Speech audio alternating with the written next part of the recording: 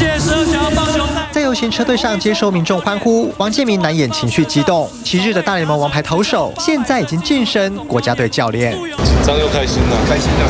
国家庆祝。为什么会紧张？为什么会紧张？这么多人。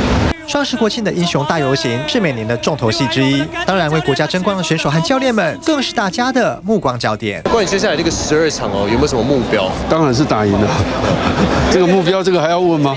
还有这点上笑容阳光灿烂，带领中华队当队长，暌违九年在 U18 世青赛夺冠的郑中泽，现在也要跟着前辈的脚步，勇闯大联盟逐梦。很风光啊，就很开心吧，很多人在看，然后就是能够跟大家一起分享这个荣耀。我现在在小联盟打，啊，目标当然就是上大联盟。